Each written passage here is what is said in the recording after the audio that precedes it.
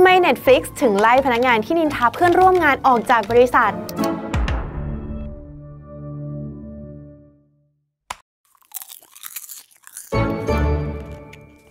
ในชีวิตของการทำงานเนี่ยมันก็จะมีบ้างนะคะ ที่เรารู้สึกหงุดหงิดหรือรำคาญเพื่อนร่วมงานของเรา ซึ่งพอความรู้สึกเหล่านั้นมันเกิดขึ้นมาแล้วเนี่ยบางครั้งเราก็คงอยากที่จะระบายให้ใครสักคนฟัง แต่นั่นมันก็อาจจะเสี่ยงที่เรื่องของเราเนี่ยมันอาจจะหลุดไปถึงหูคนอื่นได้ หรือถ้าเราเนี่ยพิมพ์ระบายลงในแชทหรือว่าสื่อโซเชียลสิ่งที่เราพิมพ์ลงไปเนี่ยมันก็อาจจะย้อนกลับมากลายเป็นหลักฐานที่มาตัวเราให้เดือดร้อนภายหลังได้เหมือนกัน เหมือนกับกรณีของพนักงาน Netflix ทั้ง 3 คนค่ะ เรื่องราวเนี่ยจะเป็นยังไงทำไม Netflix ถึงขั้นที่จะต้องไล่พนักงานที่นินทาเพื่อนร่วมงานออก มาติดตามได้ใน Brand Brief EP นี้ค่ะ ตอนนี้เนี่ย Brand Case ของเรามีช่อง YouTube เป็นของตัวเองแล้วนะคะ อย่าลืมเข้าไปกด Subscribe กันเอาไว้ จะได้ไม่พลาด content ดีๆ แบบนี้ค่ะ เรื่องราวนี้เนี่ยถูกเปิดเผยออกมาในช่วงปี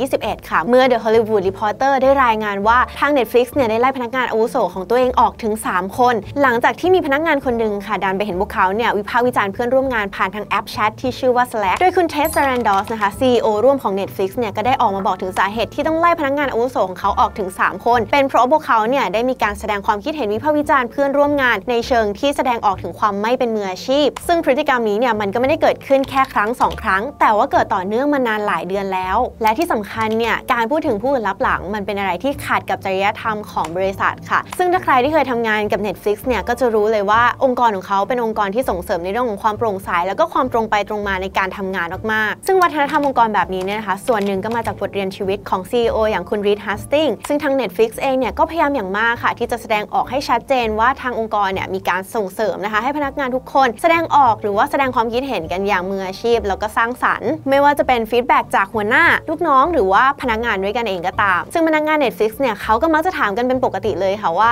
ฉันเนี่ยสามารถพัฒนาตัวเองให้ดีขึ้นได้ยังไงบ้าง หรือว่าคนที่เป็นคน feedback เนี่ยก็มักจะถามนะคะว่าฉันยังไม่ได้ feedback ให้ใครหรือเปล่า ซึ่งการที่จะ feedback กันได้อย่างตรงไปตรงมาและสร้างสรรค์เนี่ยคนในองค์กรจะต้องเริ่มจากการมีความสัมพันธ์ที่แน่นแฟ้นแล้วก็ไม่พูดลับหลังกันก่อนค่ะแต่สามคนนี้เนี่ยเขาดันไปทำอะไรที่มันขัดกับวัฒนธรรมองค์กรที่ Netflix เนี่ยพยายามสร้างมาโดยตลอด อย่างไรก็ตามนะคะ คุณ Ted Sarandos เนี่ยก็ได้ออกมาบอกในภายหลังว่าการที่ตัดสินใจไล่พนักงานทั้ง 3 คนนี้ออกเนี่ยเป็นเรื่องที่ยากมากๆ เพราะว่าพนักงานทั้ง 3 คนเนี่ยก็ล้วนแล้วแต่เป็นคนที่เก่งแล้วก็มีความสามารถมากๆในการทำงานให้กับบริษัท แต่ถ้าเกิดว่ามองในแง่ของการอยู่ร่วมกันแล้วนะคะพฤติกรรมที่พนักงานอาวุโสทั้ง 3 คนนี้ทำเนี่ยก็ต้องบอกเลยว่ามันขัดกับวัฒนธรรมองค์กร Netflix แบบเต็มๆดังนั้นเนี่ยคุณ Ted Sarandos เขาก็เลยต้องตัดสินใจแบบเด็ดขาดเหมือนกันในการไล่พนักงานอาวุโสทั้ง 3 คนนี้ออกค่ะ ซึ่งเรื่องนี้ที่ Brand's Brief ของเราเลือกอยากจะเอามาเล่าให้ทุกคนฟังกันเนี่ยนะคะ ก็เพราะว่าจริงๆ แล้วการนินทาลับหลังเนี่ยมันเป็นเรื่องที่ไม่ควรเกิดขึ้น ไม่ว่าจะมีกฎหรือว่ามีวัฒนธรรมองค์กรอย่างที่ Netflix เขาเป็นอยู่ไม่ เพราะว่าการเอาใจเขามาใส่ใจเราเนี่ยบอกเลยว่ามันเป็นเรื่องพื้นฐาน